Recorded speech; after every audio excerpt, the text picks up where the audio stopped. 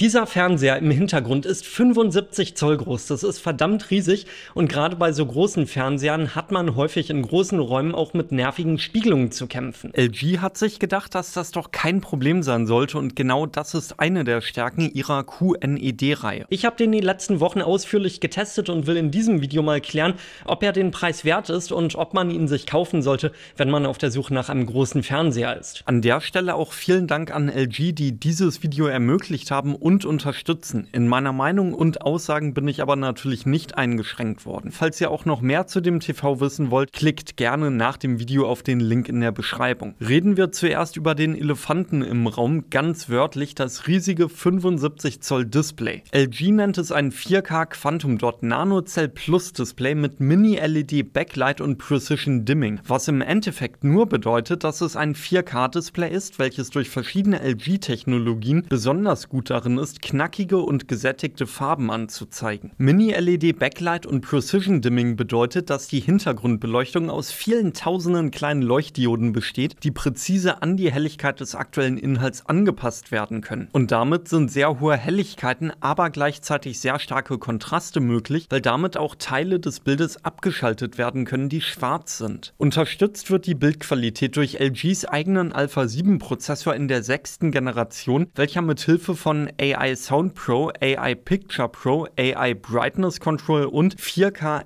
AI Super Upscaling hilft, Audio- und Videosignale zu verbessern und optimal auf die Lichtverhältnisse im Raum anzupassen. Plus Bildquellen mit niedriger Auflösung können intelligent hochskaliert werden und sehen damit nochmal schärfer und besser aus. Aber auch Zwischenbildberechnung für eine flüssigere Wiedergabe und sogar eine AI Picture Wizard ist mit an Bord. Ich kann verschiedene Bilder wählen, die mir besonders gut gefallen. Der Fernseher passt daraufhin die Bildverarbeitung auf meinen persönlichen Geschmack an. Das ist schon ziemlich cool. LG liefert dafür verschiedene Ton- und Bildprofile mit, wie zum Beispiel meinen Favoriten, den Filmmaker Mode, der das Bild so anzeigen soll, wie vom Regisseur gewollt. Dazu werden natürlich Dolby Vision und Dolby Atmos unterstützt, übrigens auch in HDR mit HDR10 Pro und HLG. Das Ganze passiert übrigens mit bis zu 100 Hertz, was die Gamer unter euch besonders freuen wird und mit 10-Bit Farbtiefe, was einem vor allem bei Farbverläufen auffallen kann. Ein Nachteil von traditionellen LED-Fernsehern ist, dass die Hintergrundbeleuchtung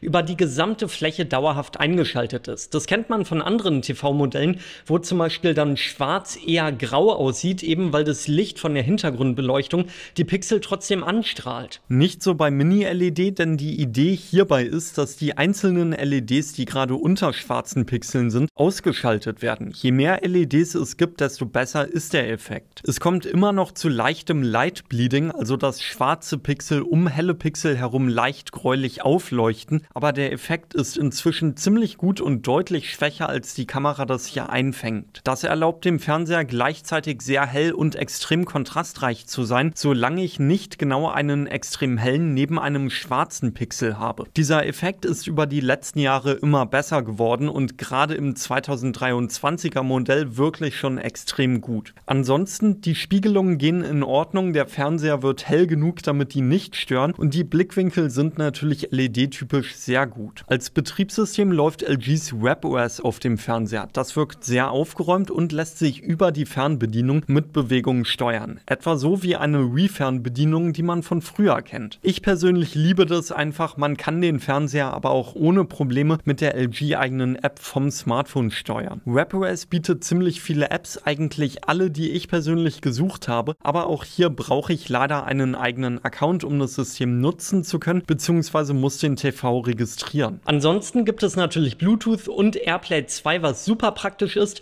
Ich persönlich habe aber noch die Chromecast-Unterstützung vermisst. Das heißt, wenn ihr Chromecast benutzen möchtet, dann müsst ihr euch eben den Dongle extra kaufen und den dann an den Fernseher anschließen. Aber dafür gibt es einen Sleep Timer, der den Fernseher nach einer bestimmten Zeit ausschalten kann. Apropos ausschalten, ich persönlich würde euch empfehlen, den Eco-Mode zu deaktivieren, denn ansonsten ist die Bildqualität von dem, was der LG QNED 86 liefern kann, doch eher begrenzt. Es gibt auch ein Home-Dashboard für andere LG-Produkte und mein persönliches Smart Home, was echt praktisch ist, wenn ich den Fernseher voll in das System mit integriert habe. Mit dem Thema AI sind wir aber noch nicht fertig, denn es gibt auch noch einen AI-basierten Concierge. Der schlägt mir immer wieder Empfehlungen für Filme und Serien vor, die auf meinen vergangenen Suchen basieren. Das ist ziemlich cool und funktioniert auch erstaunlich gut. Ansonsten gibt es auch eine Art Gallery, wodurch ich den Fernseher als digitalen Bilderrahmen verwenden kann. Die Möglichkeit, Bild in Bild anzuzeigen, aber leider nur eine App und einen HDMI-Eingang. Ich persönlich fände es extrem praktisch, wenn ich auch zwei HDMI-Signale parallel anzeigen könnte. Zudem gibt es den Game Optimizer und der hilft dabei, die besten Einstellungen zum Zocken zu finden und auch die Unterstützung für Cloud Gaming mit GeForce Now. Und das alles passiert in diesem mit 75 Zoll doch sehr großen Fernseher mit erstaunlich schmalen Rändern. Einen Standfuß liefert LG natürlich mit, der sieht auch ziemlich schick aus und alternativ kann der QNED 86 aber auch mit einem Weser-Mount einfach an der Wand aufgehangen werden. Man sollte den Fernseher aber richtig gut befestigen, denn alleine der TV wiegt über 40 Kilo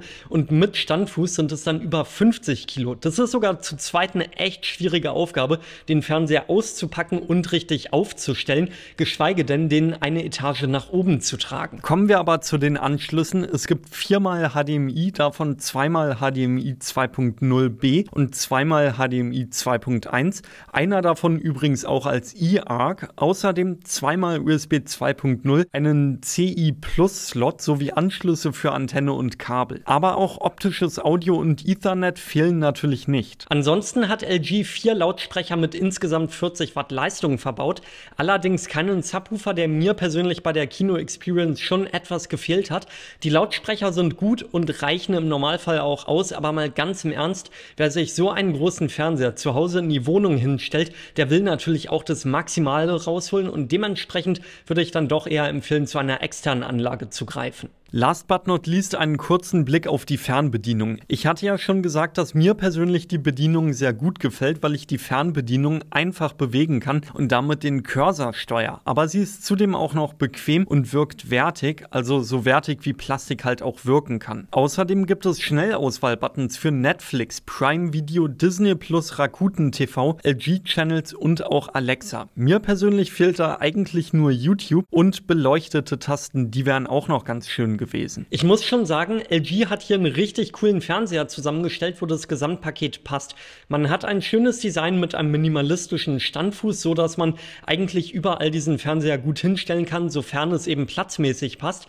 Dazu aber auch die wunderbare Bildqualität mit guten Helligkeitswerten, so dass man auch in heller Umgebung problemlos das Bild sehen kann. Man hat schöne Farben und auch das Local Dimming funktioniert richtig gut. Also in den letzten Jahren ist die Entwicklung hier in dem Bereich nochmal richtig gut vorangekommen. Und die Software, die ist schnell, es gibt keine Abstürze und so und es gibt alle Funktionen, die man sich von einem smarten TV wünschen kann.